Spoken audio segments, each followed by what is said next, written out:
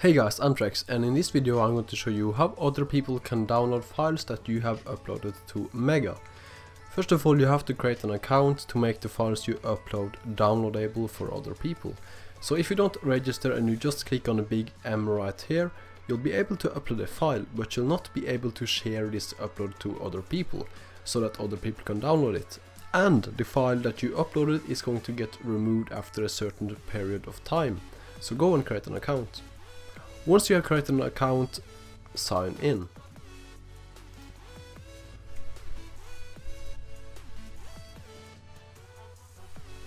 Then you go to the cloud drive by clicking on the cloud right here after it's done loading.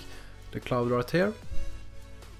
And this is basically the uh, place where you upload files. So if you wanted to make a download on the site click on either file upload or folder upload in my case I'm going to click on file upload and choose this file right here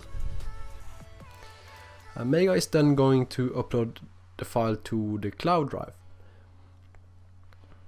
when the file is done uploading, click on the file and go all the way to the right until you see an arrow pointing down. Then you click on get link. Uh, when you do this you may have to agree to a copyright warning, uh, just click on I agree.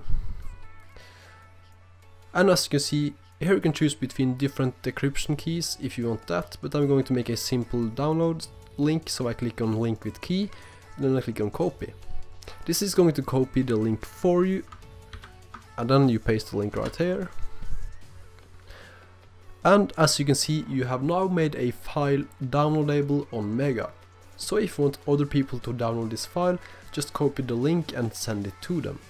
So please leave a like, comment whatever you want and yeah, see you guys